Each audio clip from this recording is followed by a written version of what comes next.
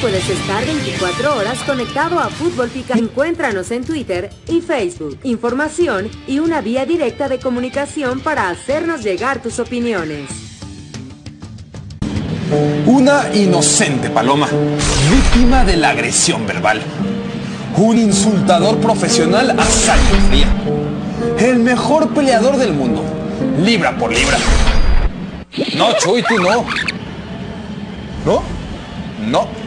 El devorador de filipinos.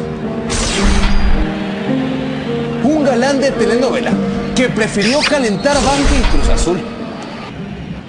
Miguelón, ¿cómo estamos? Nada de miedo, ¿eh? Era un partido de liguilla como cualquier otro.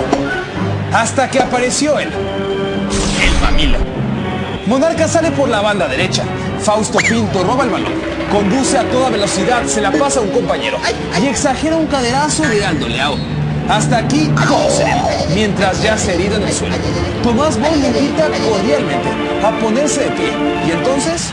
¡A tu madre, Tomás se queda sin palabras. Con la mano derecha a la cadera y el índice izquierdo invitando a la acción. Mauricio Garcés, Mauricio Morales, llama al árbitro.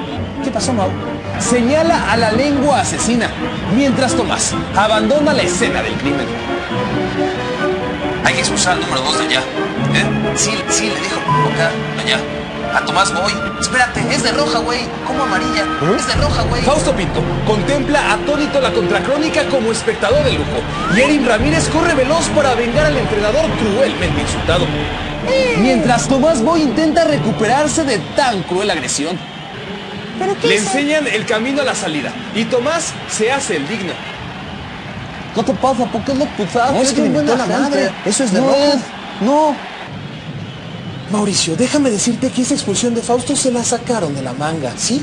Es un buen muchacho, permíteme. Jamás en la vida Pero, profe, ni a una mosca. Muy bien jugado, felicidades. Le digo No, que Es un buen muchacho. Tomás Boy. Yo opino...